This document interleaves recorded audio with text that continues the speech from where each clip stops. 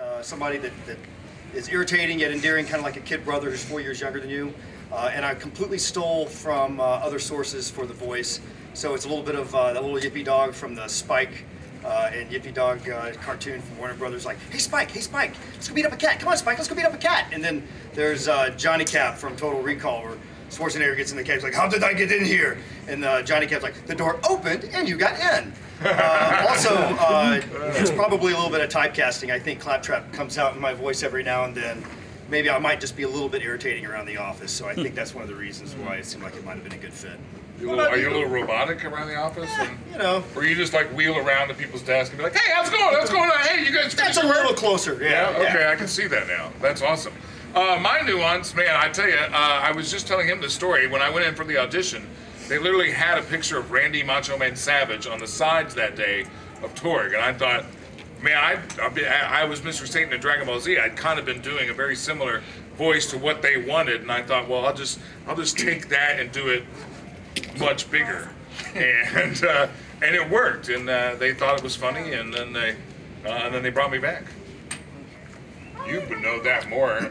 Uh, well, I don't know how, many hours you put in, but I know how many hours I put in. I would, I would say, over all of the, the, the three games and all the DLC, I've probably put, and, and also like some of the other stuff, maybe 60 to 60 hours, maybe 60, 65 hours. Now here's the thing, I get a lot of unearned adoration uh, because I represent Gearbox and I represent Borderlands to a lot of people. But the reality is, is the guys back home that are making the game, they'll put 60 hours a week into uh, their work. And uh, I also put a lot of time into other work that I do at Gearbox. But as far as Claptrap goes, about 60 hours or so is what I would say total.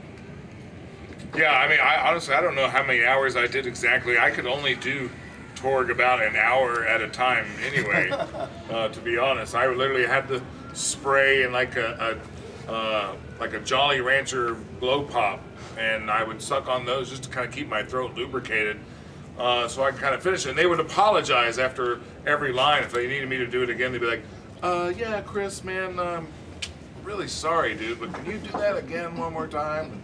And eventually they were like, Anthony would be like, just do it again, again and better, you know. Uh, more funny this time, Chris. Uh, uh, but, uh, uh, so, I mean, the hours, I don't know. It was too much fun to really be counting. Uh, to, and it was just a great time. So, I don't know how long. Long enough. That's a very interesting question. I don't know that we've had any challenges that we've necessarily needed to overcome, other than maybe having too many opportunities. So, and, and, and it sounds like a real jerky thing to say, but um, what happens is is that uh, you know the developers that are doing well, they get they get way more opportunities to make games than they can actually handle. And so we call it what we call is uh, we call it uh, opportunity cost, right? So we can only make so many games at a time. We have uh, 260 people at Gearbox. Um, 85% of our people are working on one game at any given time. We'll have other people that are working on other things, either landing it or, or, or uh, kind of thinking of, of what a new game should be. But for the most part, uh, most of our folks are, like right now, they're working on Battleborn, which is coming out soon. Um, so the biggest challenge is, is to, to, to have to turn down things that you really, really want to do. And uh, because we're all fanboys and fangirls at, at Gearbox, and people come to us, and give you an example. Um, Mad Max Fury Road, uh, year, five years ago, uh, Warner Brothers came to us and was talking to us about, about possibly making the Mad Max game. And I got to read the script for Fury Road, and it had uh, storyboards and so on. And it was it was exhilarating reading the script. It was just one big long chase scene. I hope there's you know spoilers by the way for Fury Road. It's a car chase, uh, but uh, you know there were a lot of folks that you know obviously look uh, we we were influenced by Road the Road Warrior and the, and the Mad Max series uh, originally, so there was um, there was some want to to make that or to work work on that, and we, we couldn't do it, you know, because we had other things that we needed to do, and so that's probably the biggest challenge I think when it comes to business. Uh, we, we bought it and uh, spent a lot of money on it so we could so we could put it somewhere and never see it again. No, it's, the, the reality is is that uh, a lot of us worked on Duke Nukem and Duke Nukem Forever. Uh, I was at Gathering of Developers. We were the publisher for Duke Nukem Forever back in 99, 2000, 2001, when I was promising people that it was definitely coming out this holiday season. and uh, our, two of our owners, uh, Randy Pitchford and Brian Martel, actually worked on Duke Nukem 3D and Duke Nukem Forever when they were at 3D Realms.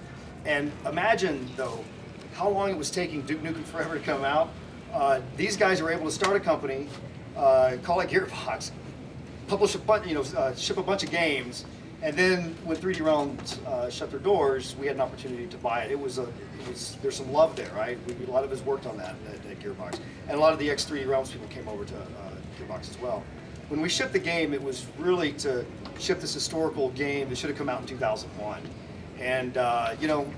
Some people didn't really see it that way, um, but uh, that was the game that should have come out in the year 2000, 2001 we felt really proud about being able to uh, you know ship the unshippable game. We basically kicked it out the door, right? Um, yes, we love Duke Nukem, and yes, we will. We, we want to do something with Duke Nukem. We will do something with Duke Nukem uh, when the time is right. It's also opportunity cost uh, there as well. We we own a number of properties: Brothers in Arms, Borderlands, Battleborn. Uh, we bought Homeworld, and we have Duke Nukem, and we have another property that uh, that uh, we've never announced and we won't be talking about. But long story short, uh, the answer is we love Duke, and uh, uh, you know always bet on Duke.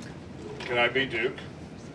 John St. John might have a problem Damn with it. that, but uh, I'll tell you We'll what, I'll We'll break the wrestle pool cue, say there's not enough room for both of you, and you guys can battle it out. there you go. All right, I'm in. I'm in. Uh, how much you guys ad lib? A lot. I've been doing it. You saw that, right? In this And yeah, uh, when you guys do the um, recordings, or do you get a very strict Uh, I script? mean, and there's a little bit in there. Uh, sometimes the, you sometimes you just misread the line and something else funny comes out. uh, uh, but there is a little bit of uh, chance to to add something, add some flair that you want of your own. I mean, I come from an improv background, so I'm always looking for that opportunity. I didn't really have to find it a lot, and I, I think Anthony wrote a really good game, and and I the, I felt that his style of comedy fit my vein of comedy, and, and whatever was on the page would just it just felt right, felt good. So I didn't really feel like I had to add anything to it because it was we do a line and we just all laugh, and then we do another one and do it again. You know, so. Uh, all right. Uh, when, creating Claptrap and, and TK Baha, the first game was written by Mikey Neumann.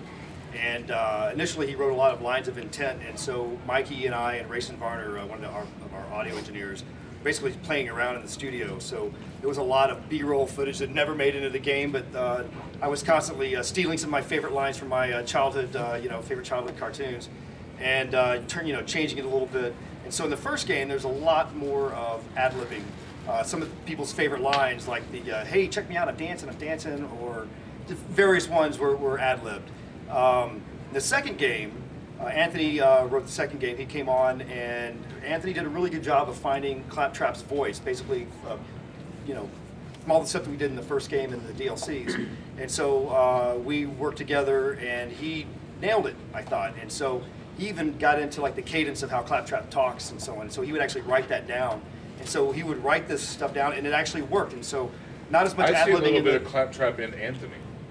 Don't? I, I he would hate you for saying that. Right, actually. so. but uh, but you know, it's you know, there's there, he actually found a, a great tone, and uh, and I, I really appreciated his work on that. I appreciated Mikey's too. Two different writing styles, and I think great results from from uh, from all of them. You know, it's going to affect uh, the companies that are trying to throttle the uh, you know data or than it's going to affect us. Uh, because what happens is, is uh, you know, games uh, drives technology, and uh, the caps will be removed or they'll be raised uh, because we're creating games that require people to be on the internet and to, to have that interaction.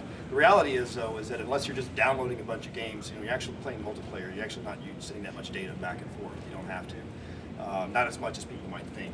So uh, I don't really see an issue there. But if, if you're if you're buying all your games and you're having to download, you know, uh, you know, 36 gigs or you know, 40 something gigs to, to play a game, uh, that might become a problem.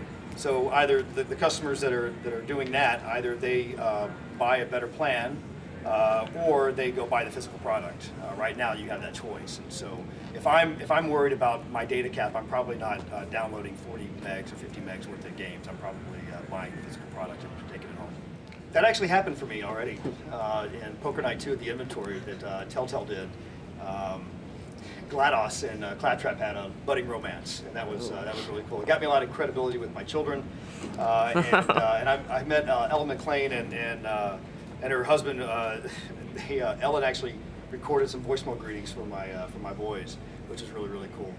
And uh, but uh, but but the scenario of kind of having like a little bit of a romance, you know, and actually somebody responding to Claptrap uh, that might make him. Actually, it doesn't matter what you say to Claptrap; he's going to think you love him anyway. So uh, I think it might have been one-sided, but uh, but Ellen was a sport, and it was a lot of fun. Uh, I'm not sure I understood the question again. What, wa- uh, like, uh, what? Put your if I- character in a situation. in any situation? I mean, you would I- love. that I would love. Uh, You can't have sex with Tor. no, I'm That's impossible. that man. I, I, I don't know that. I, I don't know, like about all toward you need. teaching a yoga class. you know, I think it'd be like, you know, you know, ascent warrior position. You know, stuff like that. You know. Now everyone breathe. you know, stuff like that. I think I just like to see that. That's got to happen. right. That's I- got to happen. Yeah. so, so yeah, to, you to, yo- yoga with Torgue. Now I can't even say it. I'm feeling lightheaded, man. The voice is killing me.